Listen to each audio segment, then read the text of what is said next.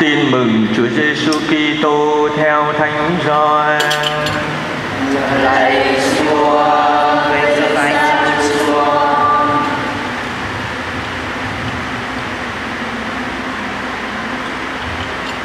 Khi ấy Chúa Giêsu phán rằng, Thật, ta bảo thật cùng các ngươi, Ai không qua cửa mà vào chuồng chiên, Nhưng trèo vào lối khác thì người ấy là kẻ trộm cướp. Còn ai qua cửa mà vào, Thì là kẻ chăn chiên. Kẻ ấy sẽ được người giữ cửa mở cho Và chiên nghe theo tiếng kẻ ấy. Kẻ ấy sẽ gọi đích danh từng con chiên mình mà dẫn ra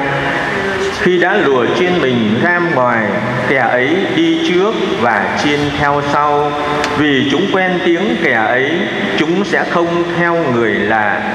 trái lại, còn trốn tránh vì chúng không quen tiếng người lạ Chúa Giêsu phán rủ ngôn này, nhưng họ không hiểu người muốn nói gì. Bấy giờ Chúa Giêsu nói thêm: Thật ta bảo thật các ngươi, ta là cửa chuồng chiên. Tất cả những kẻ đã đến trước đều là trộm cướp và chiên đã không nghe chúng. Ta là cửa, ai qua ta mà vào thì sẽ được cứu rỗi, người ấy sẽ ra vào và tìm thấy của nuôi thân. Kẻ trộm có đến thì chỉ đến để ăn trộm, để sát hại và phá hủy. Còn ta, ta đến để cho chúng được sống và sống dồi dào.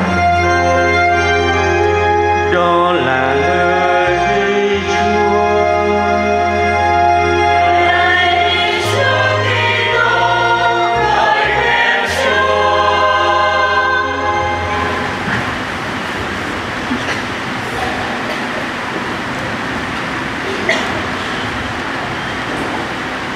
Kính thưa cộng đoàn phụng vụ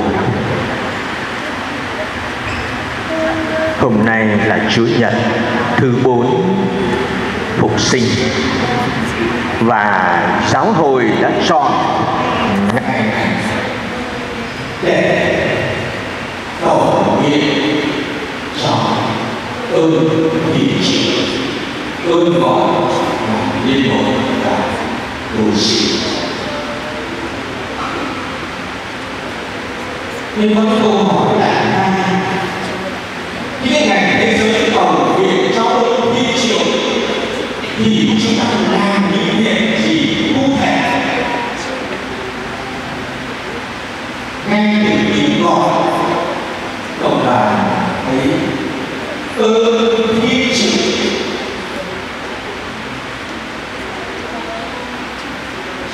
nguyên từ để nói cho chúng ta, đó là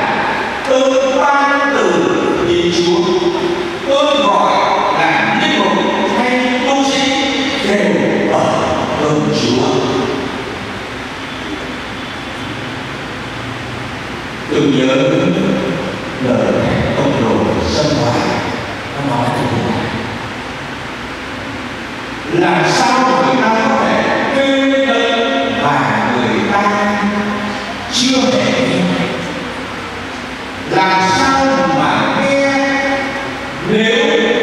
không có người rao giảng làm sao mà rao giảng nếu không có thể được sai đi bởi thế mà ngay từ sự kiện đầu tiên của ngày thế giới, tôi gọi đó là ngày 14 tháng 4 năm 1964 được thánh giáo hoàng Phaolô sáu cho đến trải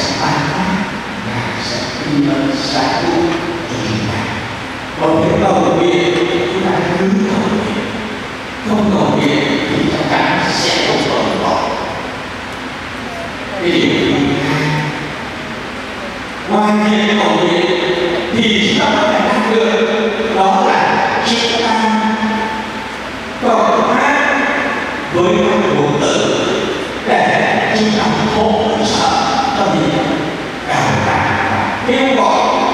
敦厚偏頗，如此。啊，要欣赏，我要是心疼，và những việc mà giáo sư rằng đã từng giúp đỡ cho các xã và cách riêng và phần sơ đồng và hiện nay là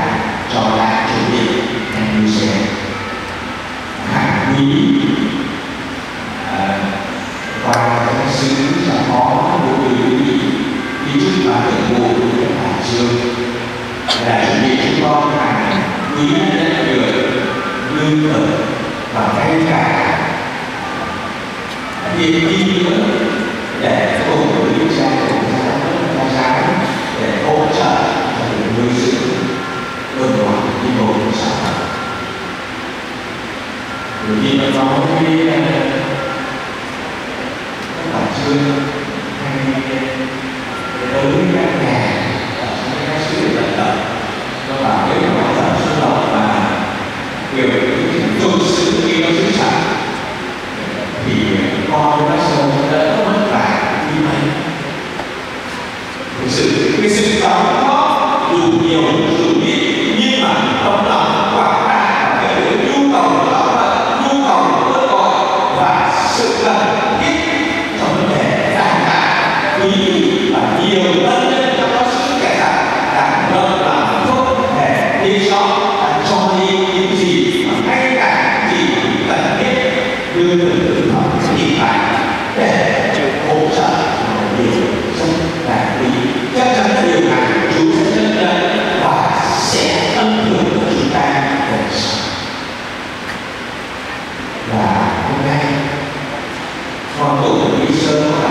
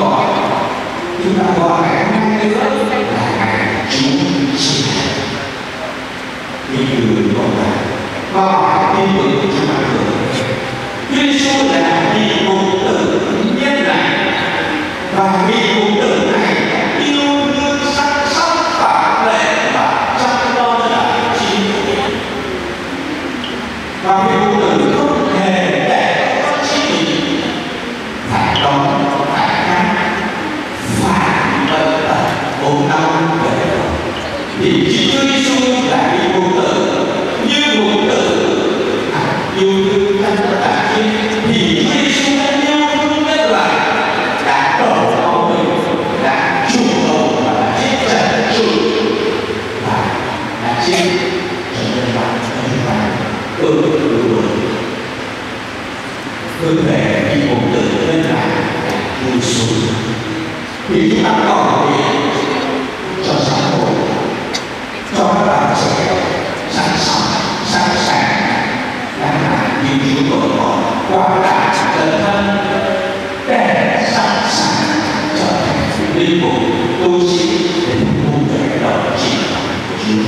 và